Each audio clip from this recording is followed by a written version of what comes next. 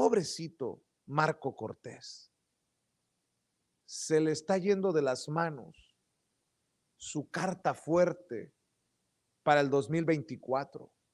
El gobernador panista de Tamaulipas, cabeza de vaca, o será que Marco Cortés es el más interesado en que lo metan al bote y así don Meco, don Narco, perdón, don Marco, brillar y tal vez con gente medio dormida, medio atontada, pueda llegar a la presidencia de la República. En el circo de la política mexicana, dice Marco Cortés, mientras sea gobernador cabeza de vaca no puede ser detenido. El dirigente nacional del PAN señaló que mientras el Congreso de Tamaulipas no lo destituya o el Senado elimine poderes, el dirigente estatal de Tamaulipas no podría ser apresado.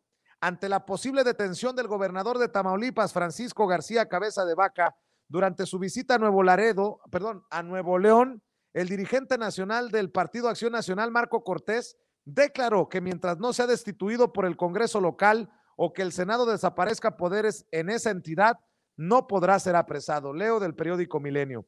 En rueda de prensa, el dirigente partidista fue cuestionado sobre si mantienen su apoyo hacia el panista, al panista García Cabeza de Vaca, en caso de ser detenido. Sin embargo, no contestó. Cito, el cargo de gobernador te da las responsabilidades, las atribuciones y derechos, y el señor sigue siendo gobernador. El señor, don Paco, don Paquito,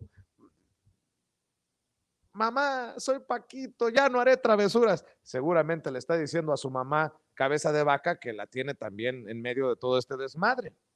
Bueno, dice, mientras no lo destituya su Congreso local o mientras no lo destituya desaparezca poderes el Senado de la República, mientras no ocurra una de esas dos cosas, cabeza de vaca, le guste a quien le guste, es el gobernador con sus responsabilidades, atribuciones y derechos, por lo tanto no puede ser detenido. Exigimos respeto a la soberanía, respeto a las y los tamaulipecos. Solo una pregunta, don Marco. ¿Y las tanquetas a las afueras de la casa de gobierno? ¿Cómo que para qué? ¿A poco no es válido aquello de que el miedo no anda en burro? ¿O es más importante el gobernador que la ciudadanía? Si lo protegen de esa manera en la casa de gobierno, ¿por qué en la casa de Juan Pérez no hay esa misma seguridad. Así las cosas en los gobiernos panistas.